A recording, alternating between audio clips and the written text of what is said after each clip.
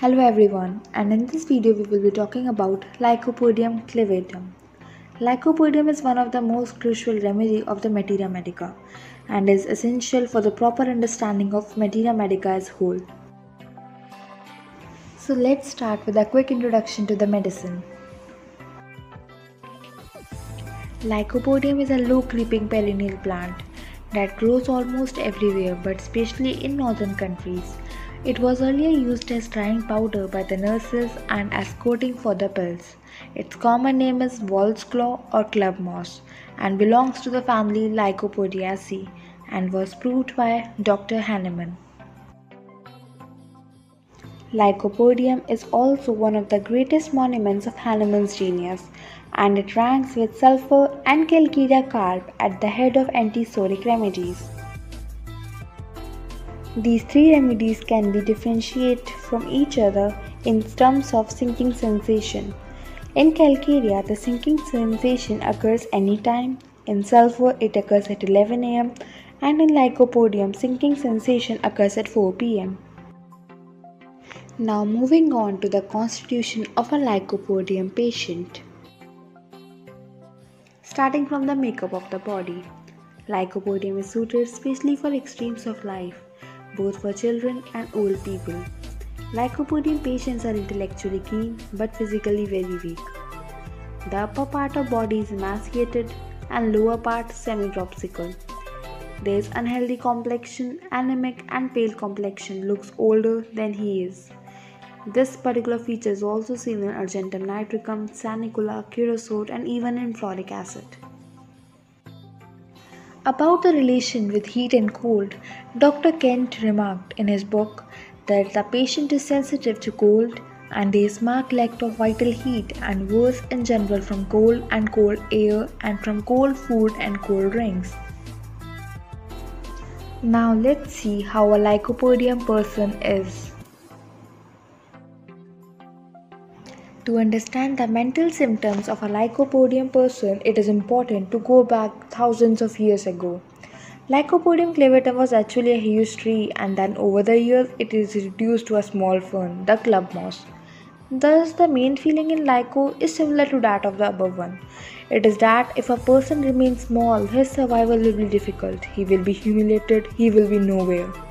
Thus, in the main theme of lyco, therefore becomes ambitious a desire to go bigger, a lot of effort which is concentrated fully on becoming bigger, being more powerful, reaching to a highest position, the top rung of a ladder. Lycopodium is so ambitious that he can employ any means to achieve success.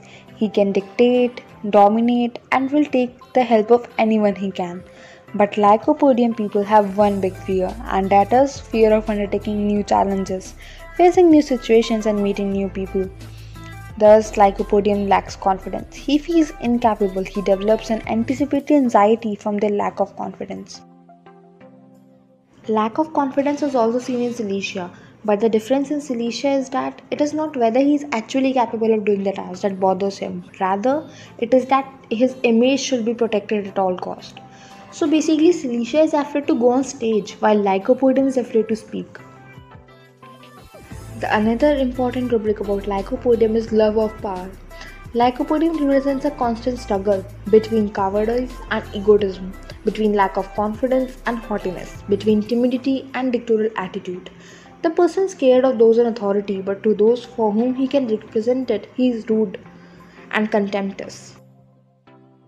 Another important feature of Lycopodium is that he is a grateful person. If somebody has done something for him, he is bound to remember and return the favor when the opportunity comes. He is also much affected by gratitude as well as ungratefulness of others. Under the irritable exterior, he is a sensitive person and can weep while watching sentimental scenes of both joy and sorrow. Another peculiar feature about Lycopodium is weakness of memory. Lycopodium accounts a lot of mistakes, especially in speech and writing. Despondent, another peculiar feature about Lycopodium constitution, which Dr. Kent himself has mentioned, he says that the Lycopodium patient wakes up in the morning with great sadness and gloom. The sadness is such that as the world may come to an end, or the whole family may die, or the house may burn up. There seems to be nothing cheering and the future looks black to them. Now let's understand some peculiar features about lycopodium.